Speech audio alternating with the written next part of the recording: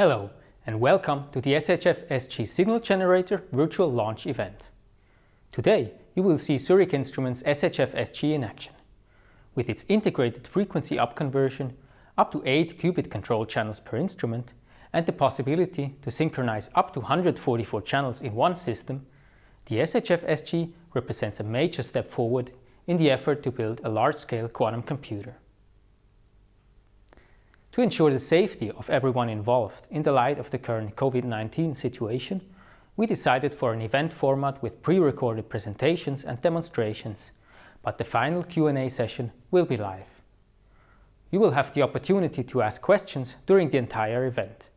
Please write your questions into the Q&A box.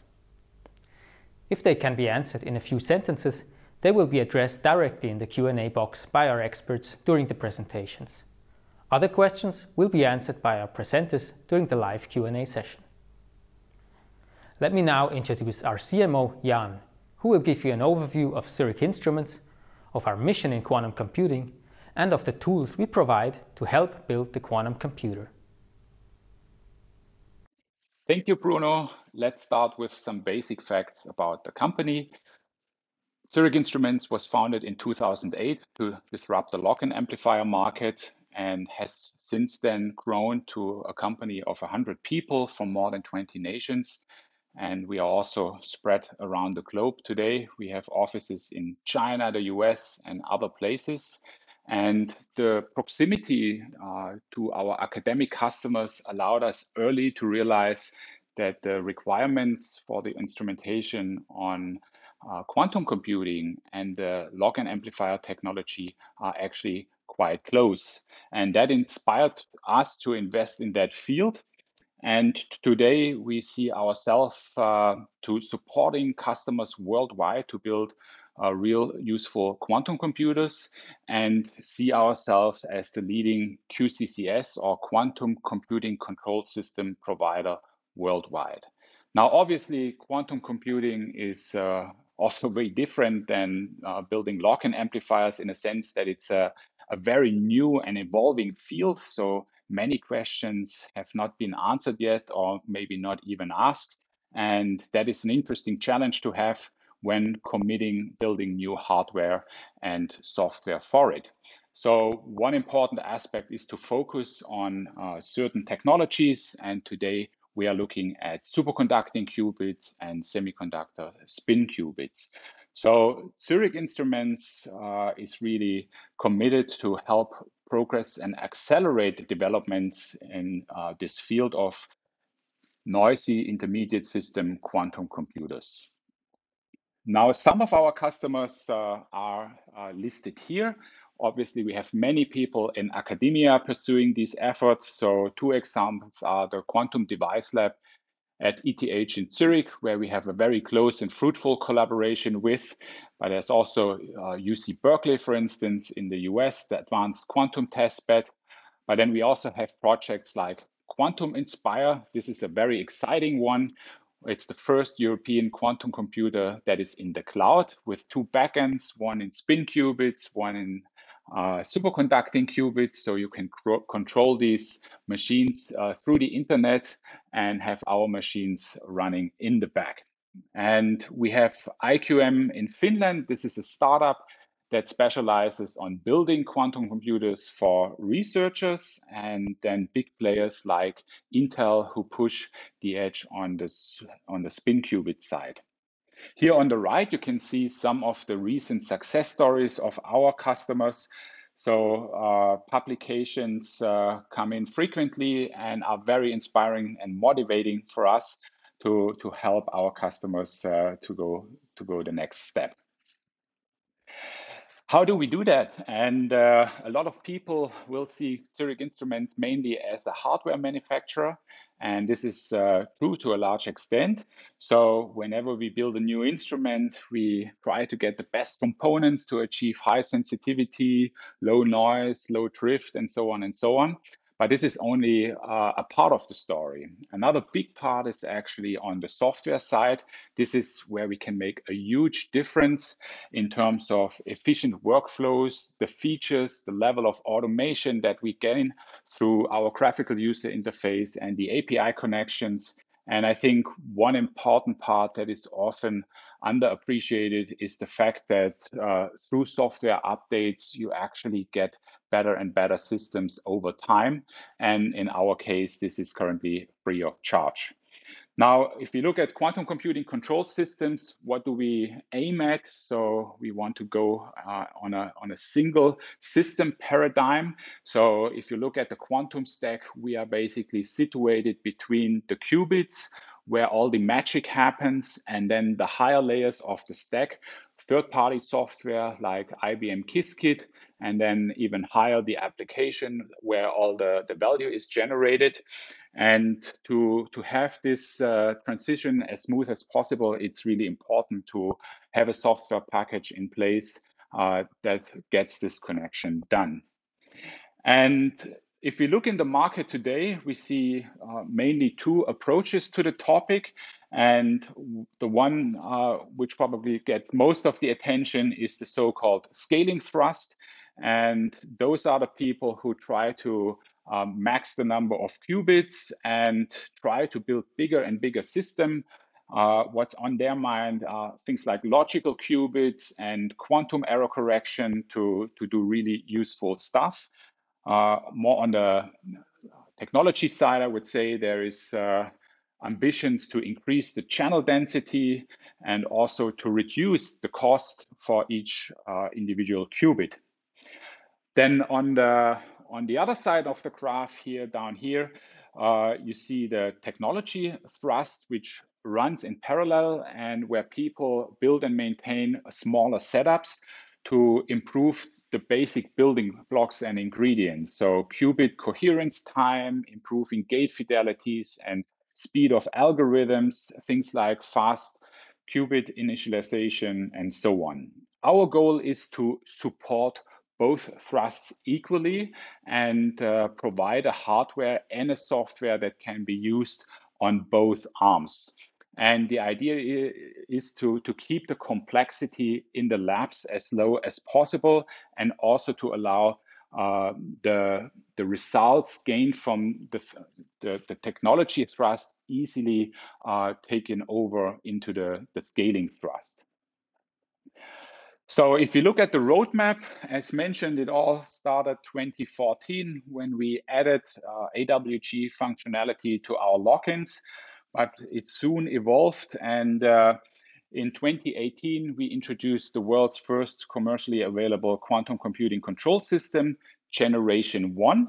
And that was uh, a combination of instruments uh, specifically designed for quantum computing and also assembled in a way that things like synchronization of all the instruments are, are, automatically taken care of and that there's also a pulse level programming available. So this system already uh, made things like active qubit reset and quantum error correction uh, possible and the question now is how to push this further. And uh, what we are currently working on is the second generation. And this has already been introduced uh, end of last year, the first instrument, the SHF QA, so a quantum analyzer. And today is an exciting day for us because we introduced the SHF SG, which is a signal generator specifically designed for qubit control. And what does generation two uh, in general mean? So it means significant progress both on the software side and on the hardware side. And one important marker on the hardware side is the fact that the whole microwave generation and detection is integrated into the instruments. In our case, we decided for a double super heterodyne technology, which we believe gives the best performance in terms of pure spectra, but also increases the system performance in terms of lower drifts and lower latency. So ultimately, we expect uh, better system utilization, so uh, longer uptimes, and also an improvement in the in the fidelities of the algorithms and uh, the qubits. And with this, I want to uh, hand over back to Bruno, who gives a, a quick introduction about qubit control, and then Mark will continue on explaining the new instrument and give a demo. I hope you enjoy the session. Thank you. Back to you, Bruno. Thank you, Jan, for this introduction. Now, let's have a closer look at the instrument.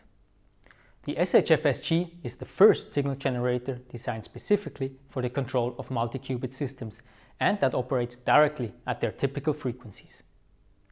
But let me provide you with a quick introduction into the topic of qubit control, the challenges that it brings, and the highlights of the SHF-SG for this application. Mark will then afterwards show you more of the exciting technology that is found within and demonstrate the instrument to you in a hands-on way. Let's begin by discussing how qubits are controlled on a theoretical level. A quantum computer based on any technology, superconductors, semiconductor spins, or trapped ions consists of qubits, which are quantum systems with two distinct states, let's call them state 0 and 1. Abstractly, a qubit state can be represented by a point on a sphere, the Bloch sphere, as you see it here on the right. In order to operate the quantum computer, we need to be able to bring each of its qubits into an arbitrary state, which is a superposition of the states 0 and 1. We may do this by applying a driving field resonant with the transition between 0 and 1 for a certain time, or in other words, a single qubit gate pulse. For instance, by applying a pi half pulse, we may bring the qubit into this superposition of 0 and 1 on the equator of the sphere. The area under the pulse envelope determines the total rotation angle of the arrow. So by applying a pulse of twice the amplitude, we will end up in the state 1 at the south pole of the sphere. The direction of the rotation on the Bloch sphere is controlled with the phase of the pulse. For instance, starting out in state 0 and applying a pulse with a 90 degree shifted phase compared to the previous pulses will cause a rotation of the arrow on a 90 degree shifted meridian of the sphere. We end up in a different complex superposition between 0 and 1. We just saw the effect of a pulse on a single qubit, but a quantum computer contains many qubits and in addition to the single qubit gate operations, the control system needs to be able to apply two qubit gate operations in order to create entangled states between qubits. In superconducting qubit systems, two qubit gates are realized using radio frequency pulses, like those used for single qubit gates, or by using flux bias pulses. In a Zurich Instruments QCCS, all radio frequency pulses are generated by the SHF-SG, while flux pulses are generated by the HDAWG arbitrary waveform generator.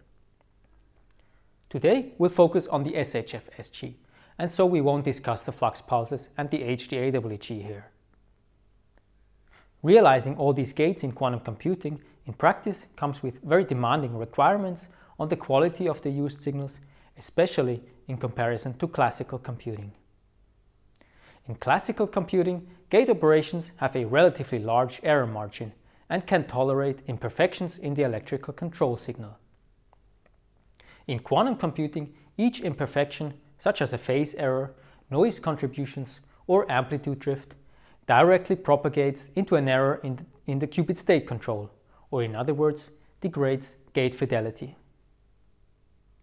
Some types of two-qubit gate operations, for instance swap gates, are sensitive to the relative phase between qubits, so the control system needs to make sure that phase between different signal lines is reproducible and well controlled. So how are these control signals actually generated? A qubit control system typically contains two main elements.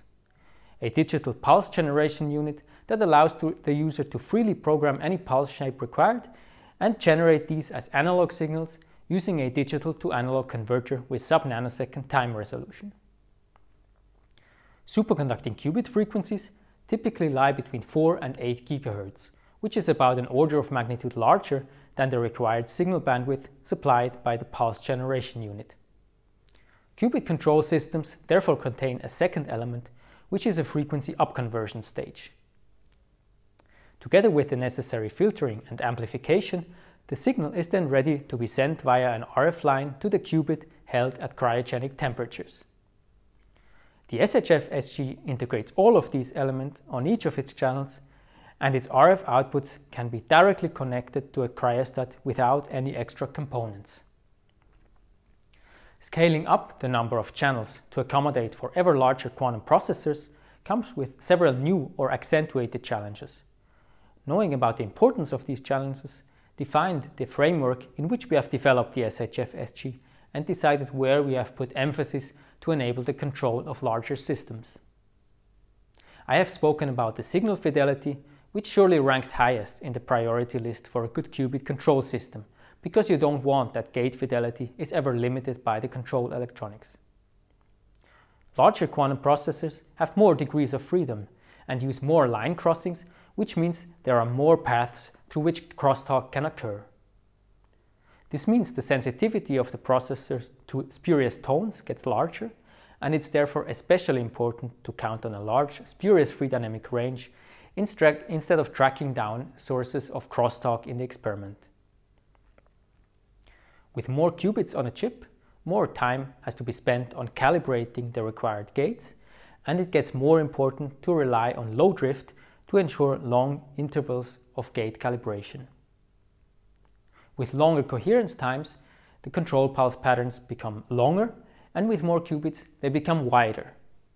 Overall, the amount of information contained in one pulse pattern gets larger and larger.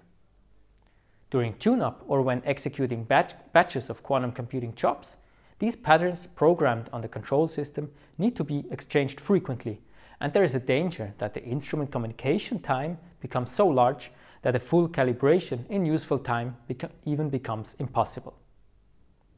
It's therefore essential that the control system supports the compression of the data contained in, in a sequence to reduce the instrument communication time.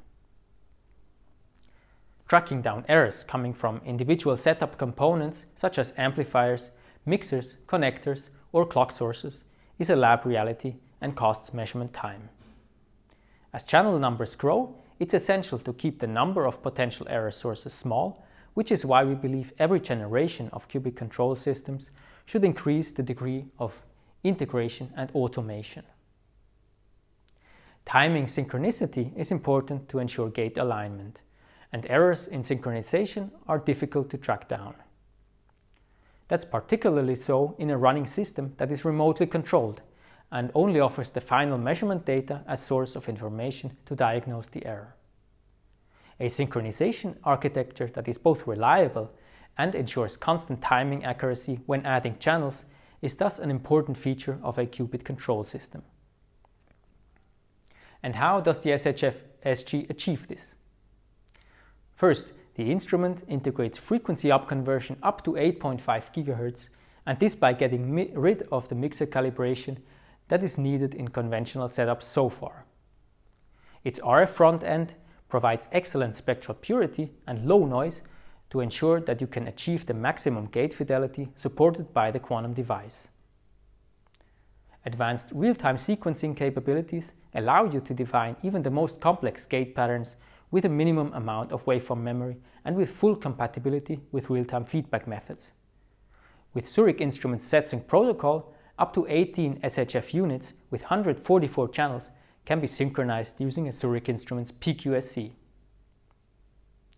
Thanks to the compact size of the SHF-SG and all other components of the QCCS, a 100 qubit control system containing all RF, flux and readout channels fits in less than two 19-inch racks. But now enough of the promotion.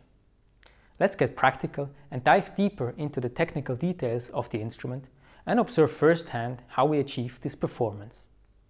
Mark will take over now and guide you through this main part of the launch event.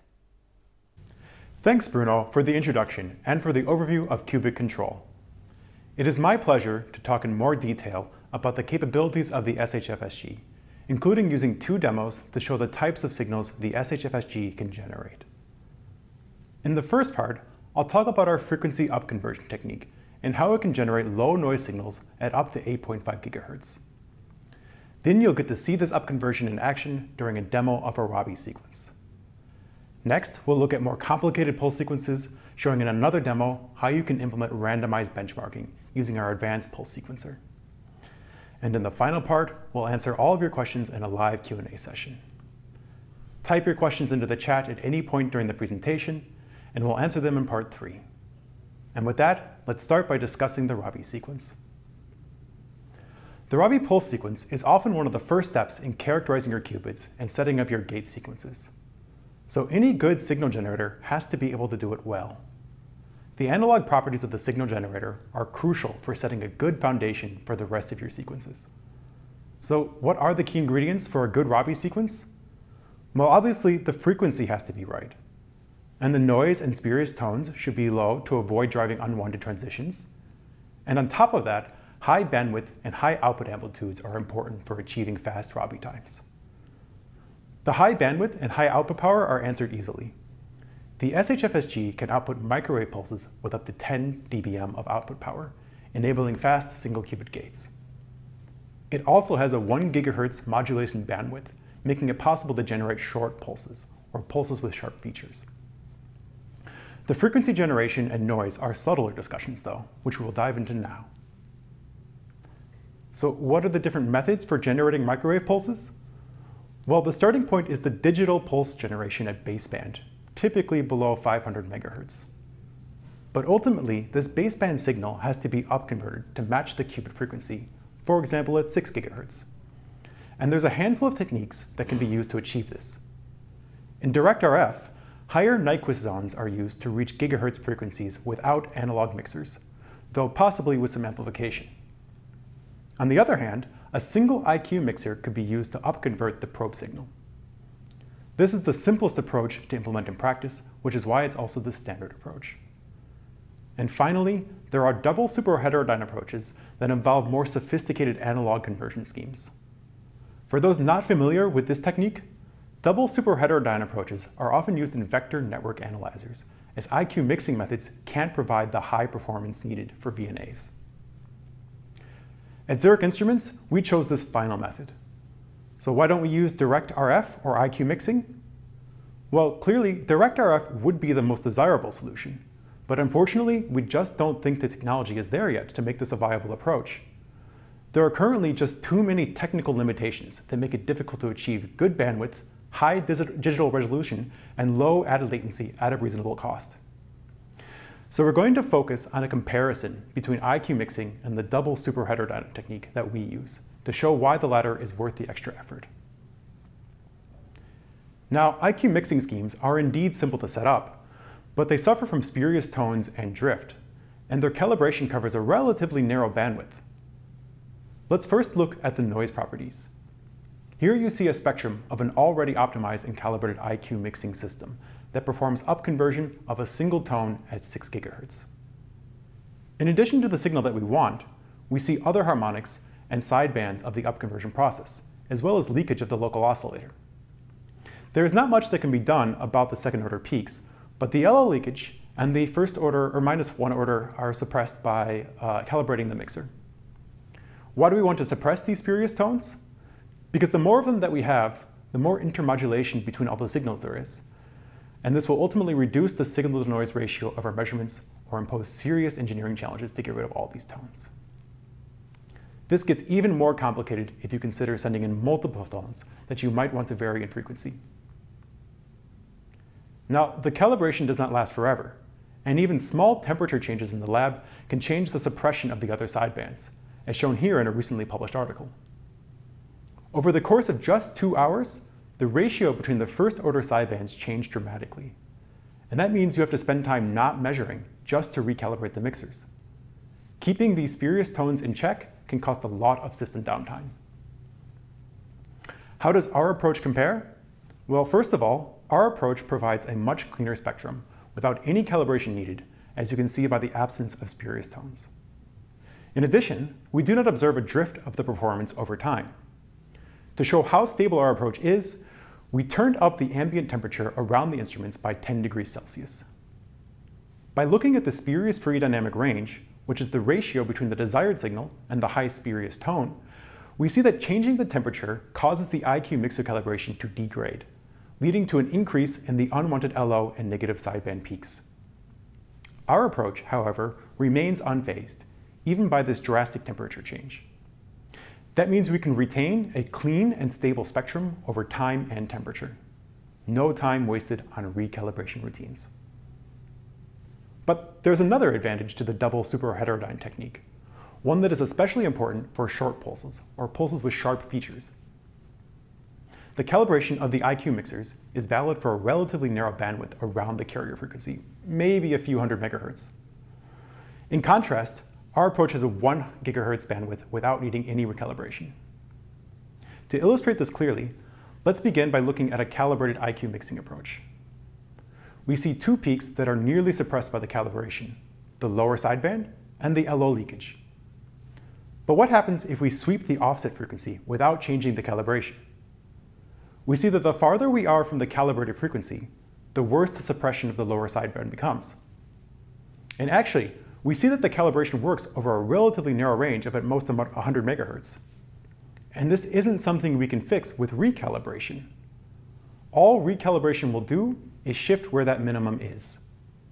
This means that for broadband pulses, the spectral edges of the pulses could give rise to unwanted signals at the lower sideband due to the limited bandwidth of the IQ mixer calibration. How does the SHFSG compare? Well, if we sweep the offset frequency such that the amplitudes are the same as with the IQ mixing approach, we see no sign of LO leakage, and we see barely any sign of the lower sideband at all. The spurious tones stay filtered out regardless of the offset frequency. Here we overlay these plots for a final comparison to highlight the difference between them. And by the way, the IQ mixer calibration is also valid only at a single drive amplitude. If you vary the amplitude with an IQ mixing approach, you'll run into a similar problem. What this means is that the SHFSG allows you to use the full dynamic range of the signal without worrying about spurious tones or images of the pulses in the spectrum. So compared to IQ mixing, the double superheterodyne technique doesn't need mixer calibration, is more stable, has better noise and spurious tone performance, and has a higher bandwidth. But if this technique is so powerful, why isn't everyone already using it? Why do so many research groups and even companies continue to use the IQ mixing approach? Well, the short answer is that the double superheterodyne technique takes some thought and care to implement well. It can outperform IQ mixing in terms of noise and stability and bandwidth, but as you can see here, it requires careful design and selection of filters, synthesizers, and other components. That initial design hurdle can be a major barrier for non-experts and for researchers who need the results yesterday. Even so, the improved noise performance and better bandwidth convinced us that double superheterodyne is the way to go, which is why we put in the extra effort to make the benefits of this technique more accessible to users. So how does the double superheterodyne technique actually work? Well, we start with the digital baseband signal, which describes the pulse envelope, the modulation frequency, the phase, and the separation between pulses. This baseband signal is digitally upconverted to 2 GHz, and then converted into an analog signal. The analog signal is then low-pass filtered, and afterwards we bring in the first local oscillator at 10 gigahertz, provided by one of the low phase noise synthesizers of the SHF-SG. The 10 gigahertz LO upconverts the analog signal to 12 gigahertz, which then passes through a narrow bandpass filter to prevent LO leakage and to reject the lower sideband. Next, the signal at 12 gigahertz interacts with another local oscillator, this one variable between 13 and 20 GHz. This variable LO downconverts the 12 GHz signal to the desired output frequency. For example, an 8 GHz center frequency is achieved by setting the variable LO to 20 GHz. This 8 GHz signal then passes through variable amplifiers and filters, helping to ensure clean output signals with a high output power. Let's focus on this last step for a second. Because the variable LO has a range spanning 7 GHz, that means we can achieve RF center frequencies at the output from 1 GHz to 8 GHz. The variable filters in amplification are chosen specifically to be compatible with this range. So that's how the upconversion process works in the SHFSG. And notice that only the green and blue bands overlap. The other bands and LOs are kept well separated, which helps us ensure spurious-free signals for high-fidelity gates. In fact, we've deliberately designed the SHFSG with a few applications in mind. For example, many superconducting qubits have their resonance frequencies between 4 and 8 gigahertz, which falls neatly into the RF output range of the SHFSG. On top of that, spin qubits can have a variety of frequencies, and the trend we've observed is toward lower and lower qubit frequencies. For spin qubit frequencies below 8 gigahertz, the SHFSG can also be a good fit. But what about 2 qubit gates? Well, if we look at superconducting qubits, there are a few types of 2 qubit gates. There are cross-resonance gates, which span a frequency range similar to the single qubit frequencies. But there are also lower frequency 2 qubit gates, such as parametric 2 qubit gates, with center frequencies typically below 1 gigahertz. And because we've observed this trend to use lower frequency 2 qubit gates, we wanted to make sure that the SHFSG can cover the full range from DC to 8.5 gigahertz. So how do we achieve center frequencies below 1 gigahertz? Well, there's a second path available to bypass the upconversion scheme. For center frequencies between DC and 2 gigahertz, we offer the low frequency path, which involves some amplification and the ability to add an offset voltage. In this case, we vary the center frequency of the output by changing the frequency of the oscillator that we use in the digital upconversion, which happens before the digital to analog conversion. For the RF path, the frequency of this digital oscillator is fixed at 2 gigahertz, but for the LF path, it is variable between 0 and 2 gigahertz.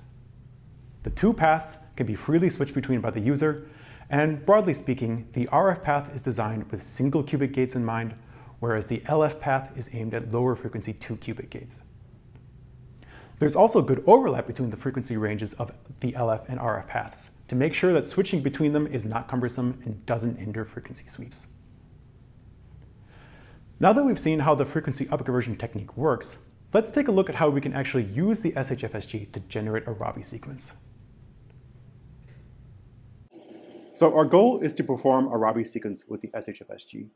And there's a few uh, preliminary steps to get everything set up and running first. So we're going to begin by loading the packages we need uh, for Python, since we're working with a Jupyter notebook here. And one of the most important is ZIPython. So let's run this. Next, we want to actually connect to the instruments. And we'll be using two instruments for this demo. One is an SHFSG, of course, and we're also going to use a PQSC to help synchronize the outputs of the channels of the, of the SHFSG. So this is just, the PQSC is just for synchronization. We connect to these instruments by specifying the server host, the server port, the type of interface, and here we actually connect two of the individual instruments using the ziDAQ server and connect device commands. So we'll also use an oscilloscope for viewing the waveforms later, but these are the instruments we need to connect to for now. Next, we want to define some helper functions to help us upload and compile our, our sequencer code. And we're also going to define a helper function to let us calculate the envelope of our wave functions, or of our, of our waveforms. So in this case, we're using uh, Gaussian waveforms entirely. So with that preliminary stuff set up, we're now going to set up the parameters of the RF path for, for the RF frequency generation. And here we're going to set all channels to be 1 gigahertz. So we do this by, we set all channels to the 1 gigahertz by using a for loop. And the two most important commands are these two, where we set the RF frequency to the variable here, and we turn on the outputs. Now it's already time to perform our first Rabi sequence. We do that by setting up a few parameters that we'll use throughout the script, mainly the pi and pi half amplitudes and the pi and pi half lengths. So in both cases, the lengths are 50 nanoseconds, and we simply vary between the pi and pi half pulses, we simply vary the amplitudes by a factor of two. We actually define the um, pulse envelope, the, the waveform here, right? So we calculate a list of points using the predefined function above, and here we separate the real and imaginary parts of this, of this calculated waveform and save them separately as two different CSV files so we can upload them later to the sequencer. Here we set the marker source for triggering the scope. And this line, we turn off the AWG outputs just in case it was running from a sequence before. And here is now already the heart of the, of the sequencer code. So this, this is what we'll actually upload to the sequence, to the sequencer, And again, the code begins with defining a few constants that we want to use in our, in our Rabi sequence. So in this case, 20 different pulse amplitudes. And here we upload the real and imaginary parts of the waveform that we calculated above. This part is the loop that will actually perform the Rabi sequence, and we do a few things here. So first we set up triggering for the scope, for the oscilloscope, and then this is the actual Rabi loop. So the idea here is that we play the real and imaginary parts of the waves together, and we through it through each iteration of the of the loop, we increment the amplitudes of the of the Gaussian waveform. And then we have some some wait time for our readout here. Good. After, so we've defined our, our Rabi sequence, and now it's time to actually upload it to the core. And we do that by establishing some, some parameters, some connection parameters to the, to the core, specifically the index of which core we want to upload to, in this case, the first core indexed by zero. And then we can compile and upload the, the sequencer code that we defined above. After we've done that, it's just a matter of turning on the AWG output so we can view what's happening on the scope. So let's run this and look at the scope.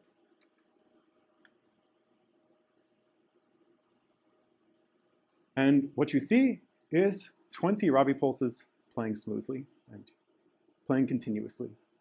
So if we zoom in, we see that it is running in a continuous loop here, and it's running reproducibly. So that's already how you can perform a single channel Rabi, but what happens if you want to perform a multi-channel Rabi measurement? Well, in that case, we can um, upload the, the sequencer code to multiple channels, and I'm going to make a few small changes. So I'm going to set the second synthesizer to 2 gigahertz so we can tell the difference between the two outputs. That's done here. As before, I'm going to turn off um, all the, or, or, disable all the AWG outputs just to keep everything clean and nice. And here is something new. I've added some parameters for the PQSC that I mentioned before that allows us to synchronize the outputs of the two channels, right? So that everything lines up nicely in time and, and is stable. So the sequencer code is almost identical to what we used before with one small change. I've now added this wait z-sync trigger so that the two channels wait for the signal from the PQSC before playing uh, the Rabi sequences. That just to help everything keep uh, stay synchronized. Again, as before, we can upload and compile the, the new sequencer code. And now we do that in a for loop since we have to do it for, for two different channels. And we also enable the AWG outputs as before. So let's run this and see our multi-channel playback. And what we see is that the two sequences are overlapping perfectly, playing synchronously as well. And again, if we zoom in, we see that it's running continuously and that the second output is playing at exactly twice the frequency of the first, so just as expected. So everything seems to be working well and playing perfectly. And that's how you can already run a multi-channel Rabi sequence on the SHFSG. So that's how we can use the SHFSG to generate a Rabi sequence. In fact, we already have some data from the first measurements done with an SHFSG. Here you see a Rabi measurement done at the Quantum Device Lab at ETH Zurich, using a pulse length of 50 nanoseconds. Now that we've generated our first pulses, let's take a deeper look at the properties of our pulse sequencer. Then we'll finish this part by looking at how we can generate a randomized benchmarking sequence. Just as a Rabi measurement is an important tool for characterizing your qubits and setting up your gate sequences, randomized benchmarking is an important tool for quantifying the fidelity of your gates. So what's needed for randomized benchmarking? Ultimately, we have to be able to play a random set of gates drawn from the set of Clifford gates, each of which has a different combination of pulse amplitudes and phases. And we have to be able to generate and play sequences with different numbers of Clifford gates, ranging from just a few to several hundred or even 1,000 Cliffords. Finally, depending on what we want to do, for example, simultaneous randomized benchmarking, we might need multi-channel playback. In fact, we might even want to play different sequences on different channels. And because we may have a variety of waveforms of different lengths with different sequences playing on different channels, we need to ensure that the memory of the sequencer is being used efficiently. So let's take a closer look at the internal architecture of the SHFSG. In the first part of this presentation, we focused on the analog signal upconversion and described the double superheterodyne technique. But now let's work, work, work backwards, going back through the signal generation chain to talk about the digital waveform generation, which is all FPGA based. There are two aspects I want to talk about in more detail. Digital modulation, which allows us to reuse pulse envelopes, and then a feature of the AWG sequencer that we've named the command table. Let's first discuss digital modulation. And let's say you want to generate a Gaussian pulse with a modulation of 100 megahertz. You could calculate the modulated waveform and upload it to the AWG core and directly send this pulse to be upconverted. But this is an inefficient use of memory because this pulse cannot be reused at a later time with a different frequency or phase. Another way to modulate the pulse is to use internal digital oscillators programmed into the FPGA architect architecture with real-time control over the frequency and the phase in the sequencer. These oscillators run in the background without consuming memory and can then be multiplied with the output of the AWG when needed. Because the modulation can be done digitally and doesn't have to be stored in the waveform, you don't have to define the modulation sample by sample, meaning you can save on waveform memory usage and upload times. All that needs to be stored is the envelope of the pulse, and that same envelope can be reused with different frequency and phase settings. But in quantum computing, just reusing the pulse envelopes is not enough. We need something beyond digital modulation. Ideally, we want to be able to define an entire gate, meaning the waveform, the phase, the frequency, and the amplitude with a single instruction. We call our approach to this problem the command table, and it's a way of indexing waveforms and modulation parameters and consolidating multiple parameter updates into a single instruction. The command table itself is a JSON file that is uploaded alongside the sequencer code to the AWG core. The entries of the command table can include information about which waveforms to play and what phase and amplitudes to play them with. For example, here you can see how each table entry has a waveform associated with it, as well as amplitude and phase settings. When you execute one of these table entries in the sequencer program, all of the waveform, amplitude, and phase changes are made, but only a single instruction is used. This means you can achieve fast phase updates between pulses and that long, complex sequences with many changing parameters won't run into limits due to the instruction memory. The command table and the digital modulation are so powerful together that one of my colleagues recently helped a customer massively reduce their upload time of a full randomized benchmarking sequence using an HD AWG. Now, we're working hard to bring the same functionality to the SHFSG, but even though it's not quite there yet, we're still able to do quite a lot with it. So let's look now at what we can already do. And that brings us to the second and final demo. Here we'll show how we can actually generate a randomized benchmarking sequence. Let's have a look. Now we want to see how we can perform a randomized benchmarking sequence with the SHFSG. We've already connected to the SHFSG and set up the basic parameters from before. So we begin by defining the parameters for the Clifford gates. Here we define each of the different um, pulses needed each with their own amplitude, length, and phase. Here we actually use these pulses to build up the different Clifford um, gates, so the, the parameters for the gates. And down here, this is where we actually calculate the envelopes. Um, so we, we take the parameters from here to make the Clifford gates, and here we calculate the actual uh, waveforms, the, the arrays. So let's run this. Now we actually want to generate the sequence that we're going to upload to the sequencer. To make things reproducible, we start by using a random seed, and then we select 16 of these different Clifford gates from the total set of 24. After we've selected these 16, we combine them into a single long list of, of data points, and we modulate uh, this, this set of data points with a 100 megahertz modulation.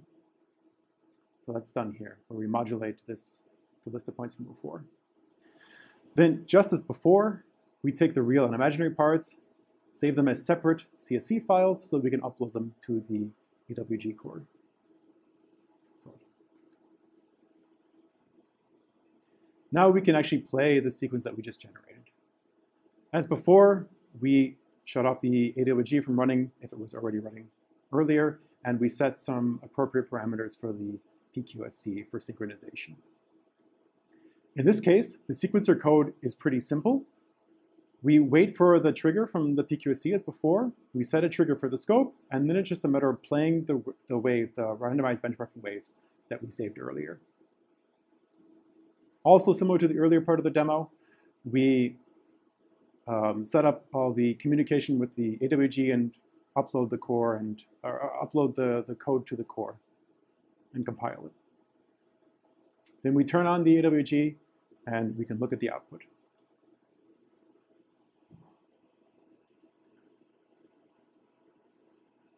And what you see is 16 Clifford gates playing beautifully. If we zoom in, you see that even though the it's repeating, even though the sequence is repeating, it's playing perfectly stably and the same sequence every time. But let's repeat it now with a longer sequence. We'll use the same seed as before, but now repeat it with 250 Clifford gates instead. All the steps here are pretty much the same as before, including the creating a single long list, modulating that, that waveform, saving it real and imaginary parts, and setting up the relevant parameters for timing, uploading the sequence. So skip over the details and we can just upload this, calculate and upload this new waveform. If we go back now to the scope, we see a much, much longer sequence playing now with basically no problem. Right? I'm not going to count the gates individually. Good. So we can play uh, randomized benchmarking with up to randomized benchmarking with up to 250 Clifford gates already. But you could see that there were different amplitudes of the pulses. But what about the phases? This is this is a bit harder to see just by zooming in. So let's take a look. Let's zoom in on just two of these gates, focusing on the x and y gates. I select them out from the list of Clifford gates from above, and um, just as before, calculate waveforms of them, modulate those waveforms, and save them separately. Now, if we upload these two waveforms to the um, AWG core in a new sequencer, we should be able to see the X and Y gates playing, um, playing on the channels. So here, the sequencer code I'm using is to set a trigger, play the X gate, then to set another trigger, and then play the Y gate. Because of the persistence on the scope, we'll be able to see the overlap between the two, between the X and Y gates, and therefore check the phase. So let's upload this code and the, um, the, the, the waveform files and play it and see what happens. So let's zoom in. Let's move it over a bit to within view. And if we zoom in, we see that exactly, because of the persistence of the scope, we see an overlap between the X and Y gates, and that there's a, a 90 degree phase shift between them. So everything seems to be working as planned. Good. So we've checked that the amplitudes and phases are playing correctly, but now let's look at multi-channel playback. And we begin this part by generating another long randomized benchmarking sequence, but with a different seed, so that it'll be a different set of Clifford gates. Just like above, we draw 250 of these gates, make a waveform out of them using the same steps as before. So if we run this section, and now, again, it's just a matter of setting the right parameters for, for synchronization between the channels. And But now we have to upload two different sequencer codes. So to one core, we'll play this first original long um, randomized benchmark sequence we had from before, and on the second core, we'll play the second the second newly generated long randomized benchmarking sequence. But otherwise, the codes are the same. And we also upload the first sequencer code to the first core and the second sequencer code to the second core. So let's run this and see how it looks.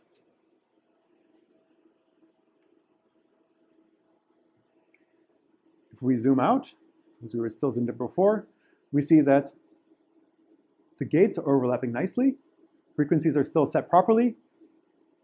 And even though the waveforms are of different lengths in total, it's the same number of Clifford gates, but different lengths in terms of number of samples, it's still playing seamlessly um, on both channels. So different sequences on different channels playing perfectly smoothly and repeating.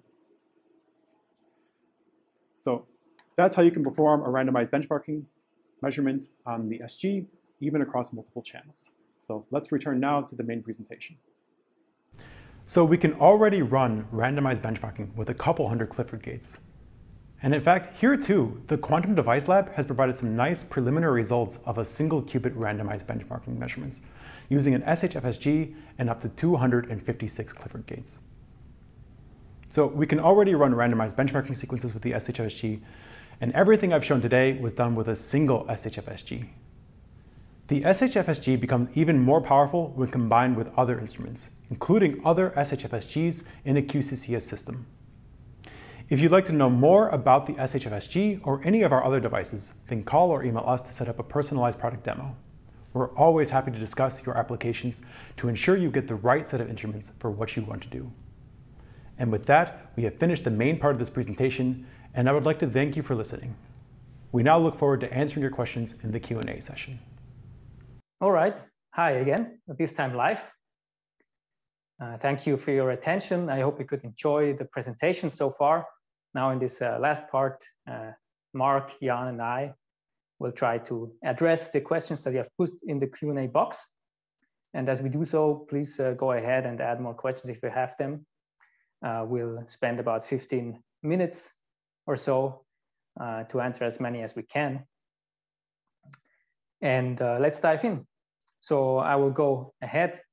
and the first question was related to the part that Mark presented. So that's uh, the following. Is the SHF-SG good for other types of qubits besides superconducting and spin qubits? So please, Mark. Yeah, thank you, Bruno. So um, you're right, we focused mostly on superconducting and spin qubits during the presentation, but actually we suspect or we hope that the SHF-SG is also a good match for some other types of, of systems, including color centers and NV centers. The frequency range seems to be a good overlap. Um, and also NMR has the potential to be a good match here too. Um, and we we're always happy to talk about you, uh, to talk with you about your applications to see if there's some synergy there, right? So even if we didn't mention your application in this talk, please reach out to us. We're happy to discuss anytime. All right, thank you. Let's go to the second question that was uh, for the first part, Jan's part. So the question is, do you have to make uh, compromises when designing a system both for small setups, so technology thrust, and large setups, scaling thrust. Please, Jan. Uh, that's a good one. Uh, let me think about it. So if we if we look at uh, larger systems, I think it's very beneficial uh, for customers when they are very flexible to pick uh, different kinds of instruments and also tailor the, the number of channels exactly to, to what their qubit and the number of qubits is actually uh, requiring. and uh, so when we compare that then to the, to the technology thrust, where uh, people want to basically use the instrument standalone, I think there's no uh, principal conflict. So what we have to take care of is basically on the hardware side that the individual instruments work by themselves, and on the software side uh, that there is basically a level uh, an instrument level software where each instrument can be controlled. And that is uh, anyway our natural approach to these matters. So we basically just keep going. And uh, along those lines, I don't think it's a big compromise. It might be a different situation if we look at uh, much larger systems in the future, uh, when cost consideration of the hardwares get more and more uh, prominent. And uh, I think this analysis is uh, not yet fully done, but uh, it's definitely on our mind. All right, thank you, Jan. Uh, so I'm gonna I'm gonna take the next question. So that is related to a statement that was in my part regarding the flux pulses. So why is the SHF-SG not used for flux pulses, but only for the RF pulses? Uh, so yes, it's true. We uh, proposed that uh, the uh, radio frequency single qubit gates and, and radio frequency two qubit gates are generated by the SHF-SG, but for uh, flux bias pulses, we do recommend the HDAWG, which is uh, which is a product which is out a few years already. And uh, it's actually the SHF SG bandwidth goes really down to um, uh, to DC. So uh, you will be able to uh, generate uh, DC pulses as well as you know them. So if you have a, a SHF SG and uh, you you require flux pulses, you will be able to gen generate them. It's still not uh, the best solution because the compromise that you that you have when you use the SHF SG for one the output resolution, so it's two bits less. Uh, so 14 bits versus 16 bits, and this the the bit resolution for hitting the um, uh, the plateau level on a flux pulse is just something uh, uh really important. Also, the um, available signal amplitude on the HDAWG is uh, is larger than the one that is offered by the low frequency path on the SG. And uh, third reason also on the HDAWG, you will, you will have uh, the uh, real-time pre-compensation feature available, which is not available on the SG. So overall, the HD is just a better solution for the flux pulses. Uh, and that's why we would recommend it. Good. I will also just take the next one, which is more uh, uh, uh, the technical questions or a question about whether this recording will be available for watching. Will be published again? And along the same lines will the slides be available? So the recording of course will be published. You will be able to find it on the youtube channel and also on our website. As for the slides so we usually don't uh, have slides for uh, download but uh, please get in touch with us uh, if you uh, like to get a copy of these slides. And then let's go to the next technical question. Let's see, uh, again, one from Mark. So you show the system with several SHF SGs, but only a single SHF QA. How realistic is this? So Mark, please. Yep, thanks, Bruno. So um, it, it's realistic. Uh, the, the SHF QA can have multiplexed readout, so it can read out each channel of the QA, or the SHF QA can read out multiple qubits. Um, so if you're if you're thinking of, for example, a Surface 17 setup, um, you want to build something like this, you could do this, for example, with two SHFSG eight-channel versions and one four-channel SHFSG, but you would only need a single SHFQA to do the readout uh, corresponding to that. So the the SHFSGs for the for the control of the of the Surface 17 and the uh, single QA for SHFQA for the readout. Um, so that, that's why it makes sense to have typically more SHFSGs than SHF QAs in a, in a QCCS system.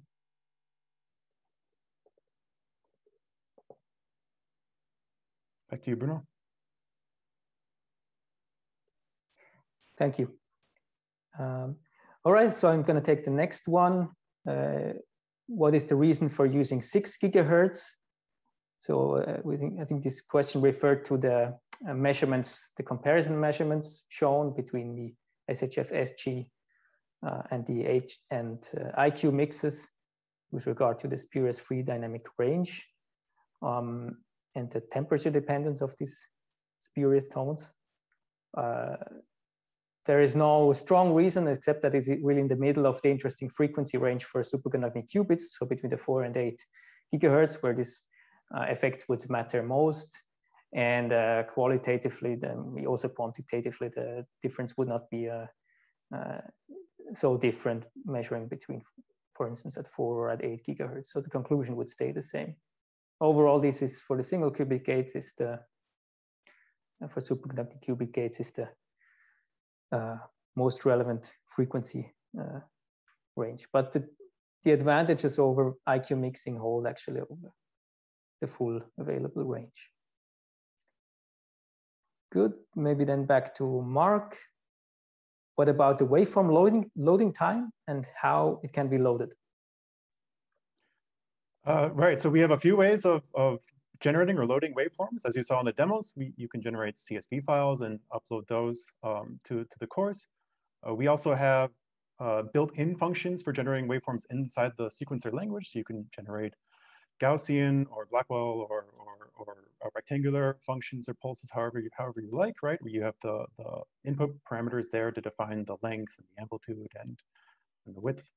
Um, so we have multiple ways of generating the waveforms or uploading them. And as for the upload times, it's pretty negligible. I think even if you fill the um, the waveform memory, you're looking at a few milliseconds at most. Uh, and this is, but we also have all these techniques for saving waveform memory, right? So I mentioned the digital modulation. Um, and another method that we have is this play zero uh, command, which means that you don't use waveform memory when you're playing basically no signal, right? So if you have some wait time between pulses, we have the play zero command so you don't waste waveform memory playing no amplitude. Um, so we have these different techniques for saving waveform memory, and that also saves on the upload time, right? So the less waveform memory you use, the faster you can upload your sequences. So this, this really shouldn't be a problem. And this also is, is comes into what I tried to hint at with the command table, right? Is that we're trying to efficiently organize all of these um, different parameters and different different settings so that like we can efficiently use all aspects of the of the sequencer. So uh, yeah, I, I, can't give exact numbers for for what you would experience in your um, in your in your experiments for upload times, uh, but we do have a whole tool set for for really optimizing this for making it as fast as possible. All right, thank you. Good. So next, let's dive a little bit in the specs. There were a couple of uh, questions about uh, analog specs as well. So uh, the first one here, what is the SHFSG's ENOB at one gigahertz, so effective number of bits? And related one, what is the SFDR on the SHFSG output channel? So spurious free dynam dynamic range. Uh, maybe on the ENOB, a uh, uh, I, I good questions. I uh, the I remember when speaking with the uh, RF engineers, they always dis disliked this ENOB spec because it's really a mix between uh, different uh, parts. It's a mix between noise specifications, linearity, and also uh, the SFDR, which is mentioned. And th these three, so the noise background, also the linearity, the harmonic level, and the SFDR, they are uh, available separately. I checked all of them are at uh, one gigahertz published as well. So you find them on the specs list of uh, uh, the website. The ENOB itself uh, has not been, uh, we, we had no ENOB spec on the HDAWG and also not on this one. I believe it's a better way of rep representing the output um, performance. I probably refrain, like, since there was the explicit question on the SFDR, let me answer that. So, for instance, uh, at uh, 8 gigahertz maximum output, so this is 10 dBm. Um, sorry, I'm on the whether I'm on the aha is minus 65 dBc. So this is an sample value, and for more values uh, at different frequencies, uh, you can find them on the specs list on the website. Good. Let's take the second one and the next one, sorry. Uh, uh, one for uh, Jan. Does the SHFSG increase gates fidelity? If yes, what is the highest fidelity that you achieved? Please, Jan. Yeah, I think that's a tricky one in, in a sense that uh, to reliably make these statements, I think you will have to find a setup where the uh, signal generator is actually the limiting factor. And uh, I think that part we haven't achieved yet. But uh, there are preliminary measurements uh, where we do comparison uh, with uh, other instrumentation, and they look very encouraging.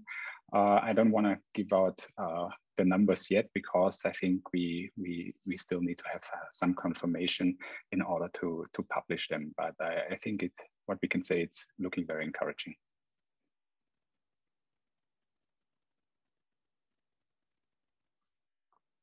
Bruno? Right, great. Sorry. Sometimes my keyboard shortcut doesn't work for the unmuting.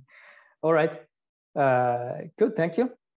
Let's uh, go to the next question, one for Mark. You mentioned the customer could use the command, command table to speed up their randomized benchmarking experiments. Can you give any details about this? Sure, yeah, thanks, Bruno. So um, actually, my colleague came up with a few different methods for implementing the randomized benchmarking on, on the HDAWG. Um, so I don't know, maybe three or four different ways of doing it. Uh, and actually my favorite involved using the pseudo random, uh, random number generator built into the HDAWG.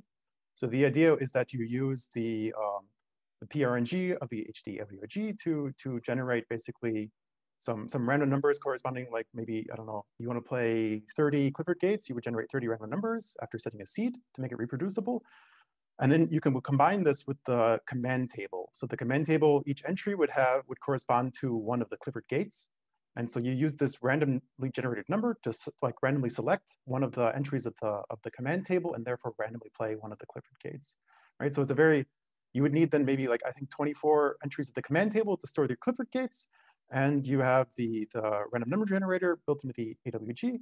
And combining these two, right, you can you can sort of generate whatever um, whatever Clifford sequences you want of, of arbitrary length, right? So you're basically just limited by the number of states, the internal states of the pseudo-random number generator. So it's a very elegant, very simple, I feel like even intuitive way to, to generate it, uh, to generate these randomized majority sequences. Um, I can't, so if you want to learn even more or hear even more details, I can give maybe a little hint is that uh, you should keep an eye on our blog space um, in the next, in, in the, in the near term future. But yeah, then you can hear even some even more uh, some even more details if you like. Yeah, and thanks, Bruno. I pass it back to you now. All right. Yes. Stay tuned uh, on our blog space. Thanks for the teaser, uh, Mark. So we uh, uh we we used up the time that we allocated um, for the Q and A. So I'd like to wrap up, but there's still questions uh, that we haven't answered. And uh, please know that uh, we will uh, collect these and answer them in written form, publish it uh, on a blog post on our website, and uh, also send you the link to this blog post as soon as it's out. Uh, it won't take more than a couple days or so until we have this put together. Um, and yeah, with that, I'd like to close the Q&A session. And I hope uh, you could enjoy this launch event and could take some uh, useful insights into our new instrumentation uh, generation with you. of course, we would be really happy to meet you at least virtually, if not in person, uh, to give you uh, uh, demonstration directly and answer your questions about application fit directly. So please get in touch with us. And uh, yeah, with that, I'd like to close the launch event. And thank you again for tuning in, for your attention. Goodbye.